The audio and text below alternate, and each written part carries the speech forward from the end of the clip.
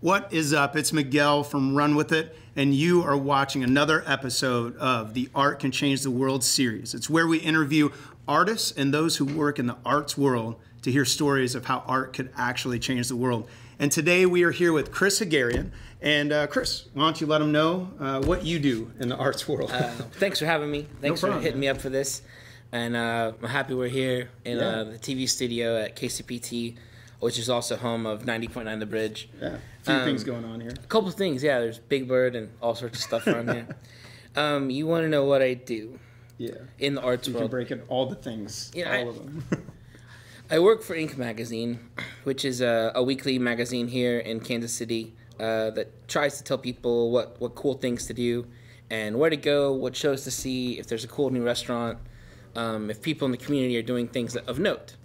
And um, with them, I get to work on a lot of our music stuff.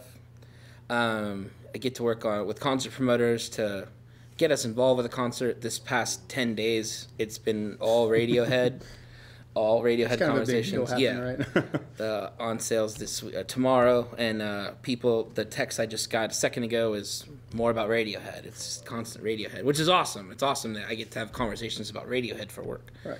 So I, I get to have, work with promoters, marketing people on that, and then it's it's splintered into the creation of Middle of the Map Festival, which I'm wearing a shirt from. Well done. Uh, yeah, uh, usually a walking billboard. Uh, so Middle of the Map was a festival we, we created, um, me and Nathan Reusch of the Record Machine. Um, it- it- our first year was 2011, and um it's become this thing. It's seven years old now, and each year, you know, have about 100 bands come uh, from all around the world, as well as lots of Kansas City bands and uh, I work on that. I work on that festival, and that that music festival splintered into a film festival, and then also into a bit of an art, culture, tech Yeah. forum event.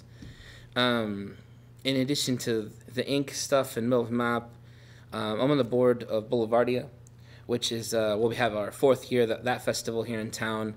Uh, Forty-five thousand people come, uh, forty bands, three stages. Um, get to work with them on all the music for that, and then different people around town. I get to have different partnerships with. I have partnerships with the Kansas City Royals. We do a concert series out there that you guys played Yeah. uh, last year. It was a lot of super fun. fun. Um, I have a, a, a partnership with the Country Club Plaza for the Plaza Art Fair, which happens every September, which you played last year. I forgot you did that as well. Yeah. it's like start adding all the things. Um, you know, and over time we've done stuff. I had a relationship with Sporting. We did a series out there. The first season they were there. Um, you know, just I'm constantly called upon to help put bands in places, unique, unique places. Usually, not your typical stuff. Oh, I have a radio show too. oh, that's right. The Yeah. 8160. Yeah. So- didn't, almost didn't get that on the list. as we're sitting here uh, in this station, um, I have a radio show on 90.9 The Bridge called the 8160, which you've been on. Yeah. And uh, a lot of patterns here. And um, it's uh, every Tuesday night here in Kansas City uh, at 6 p.m. Uh, you can stream it online uh, live or catch up on the podcasts.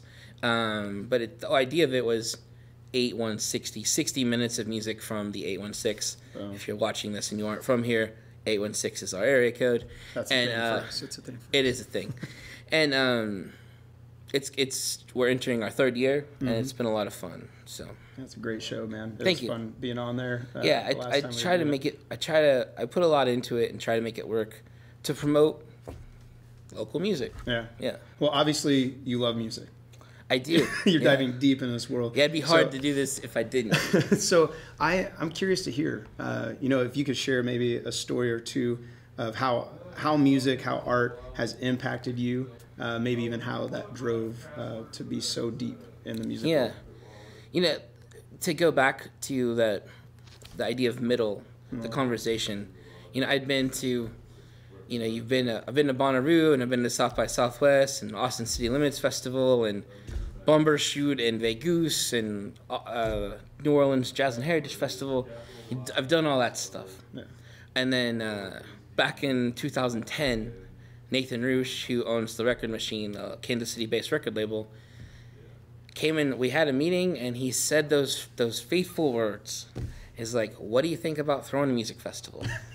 Changed a whole lot. and you. it really was like the red pill or the blue pill really okay. for me and it's it's it's this entire trajectory of no days off way less sleep but a really interesting new life. You know nathan and i had gone to festivals all around the country mm-hmm.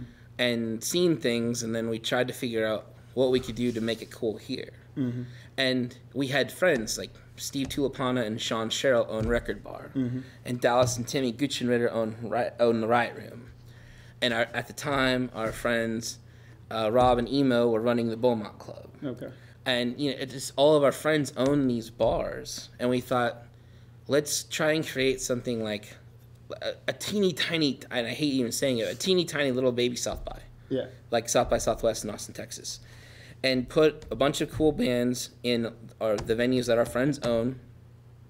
It'll help get exposure for the bands. It'll help our friends with their businesses, and then we'll bring in some bigger acts. We'll go sell some sponsorships and get some money, and then bring in bands like Two Door Cinema Club, who were on the way to Coachella, and Daniel Johnston, who was an icon, and the Raveonettes played that first year, and I can't remember who else played that first year.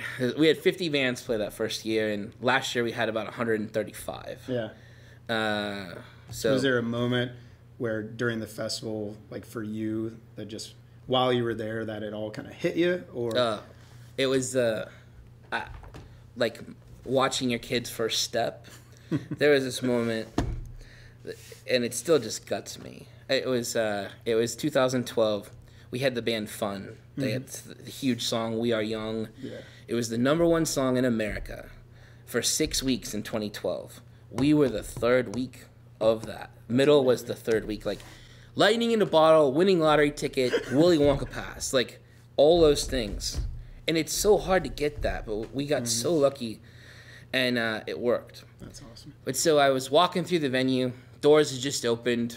I think making movies were getting ready to start playing. A local, great Kansas City local Yeah, band.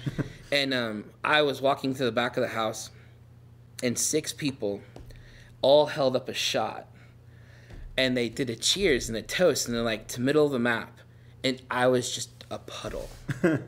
it was just because it's this thing you live and die with Yeah. every day, and uh, to see that it actually yeah, means so, to, something to so six strangers. That's the that's my favorite thing. That and when I see a stranger in the middle of the map T-shirt, Mm-hmm. uh, those are my those are awesome things. You've hit on this a lot in how it's impacted you personally, but is there another story that sticks out to you where you've seen music or art Yeah, I mean, uh, the- impact somebody else? I the other side of it, not directly with the festival, but with like things like the Royals game. Clearly, you buy a Royals ticket, you go to see the Royals play, Mm-hmm. and of late, that's that's way, it's a lot cooler than it was in 2011. Yeah, way cool. when we started this concert series. Now, you know, two World Series under the belt. Uh, but what, what was cool about the Royals, what's cool about Plaza Art Fair, what was cool about sporting was you get to put bands like yours in front of an audience that would never otherwise, for the most part, come see you play record bar. Exactly. Yeah. and it's it's it, it's just to you know just reaching one person. And uh, two two side notes on that uh, both happened at the royal stadium. Um, the Phantastics great soulful hip-hop kind of crossover act. One of the hardest working uh, party bands in kansas city uh, at the Royal Stadium. They played out there, same stage you did, and they're crushing it. Like Kemet's got the crowd bouncing, and him and Lee have the are hopping along like crazy. and uh, the end of the set, seventy year old white guy walks up to the stage, and it, and I'm watching. I'm right there by the soundboard, and says to Kemet. That was one of the greatest things I've ever seen. That's awesome. How, where else could that happen? Right. You know, like it was it was a seventy year old dude hanging out at the ball game because he wants to see the Royals play. Yeah. Probably got a barbecue sandwich, came over and sat down at the picnic table, and was moved enough to go up and say that to the to, to awesome. Kemet. And then um, similar thing um, again at the Royals game. Um, the bands had in the, in the past got a suite. You got a suite when you played, Mm-hmm. And um, we were hanging out in the suite, and I had on a Beautiful Bodies T-shirt Yeah. and this gentleman walked past another again another old white dude and he walked past and he said, "Do you are you, do you work with that band? Are you in that band?" He's like, and I said, "No." I, I said I work with them sometimes. And I said, "How do you know them?" He's like, "Well, I saw them at Plaza Art Fair." That's awesome. And I'm like, there it is again. and it's just, you know, another case where this dude would have never seen them before. Yeah. Why would he have go, have seen them otherwise? But he was probably down there looking at art, Mm-hmm. going to get a drink and a, a nice meal somewhere on the plaza, like, and "Wait a stumbled across the beautiful bodies pouring out their souls on stage at Plaza Art Fair. And those are the things that, like, got you. That's awesome. Well, thanks again for sharing. and uh, feel free to let our followers know uh, right over there where they can uh, listen to the show or Yeah. anything about the festival. So Um, so on on uh, from middle of the map, you can go to middleofmapfest.com. Actually, I think we bought MOTMKC now uh, as our redirect, and then Facebook, we're all on there. The Bridge, uh, the station is 90.9 The Bridge. The show is called the 8160. Again, every Tuesday night at 6 p.m. Central Standard Time. Um, and then Boulevardia happens every June. It's Father's Day weekend. Uh, be good time down in the uh, Stockyards District in downtown Kansas City. But uh, thanks again.